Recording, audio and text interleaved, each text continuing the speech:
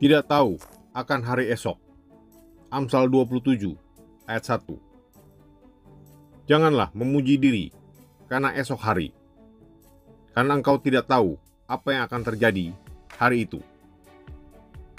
Yakobus mungkin memikirkan ayat ini ketika menulis. Sedang kamu tidak tahu apa yang akan terjadi esok. Apakah arti hidupmu? Hidupmu itu sama seperti uap yang sebentar saja kelihatan lalu lenyap. Oleh karena singkatnya dan karena ketidakpastian hidup ini, semua rencana kita harus senantiasa tergantung pada apa yang dikehendaki Tuhan dan bukan pada anggapan kita sendiri. Sikap sombong di dalam hati kita karena kita tidak sadar bahwa diri kita dan apa yang telah kita lakukan sebagian besar adalah karena Tuhan dan orang lain.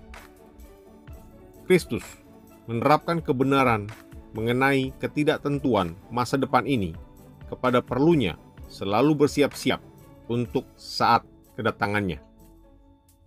Oleh karena itu, janganlah memuji diri karena esok hari, karena kita tidak tahu apa yang akan terjadi pada hari itu. Semoga Tuhan Yesus memberkati.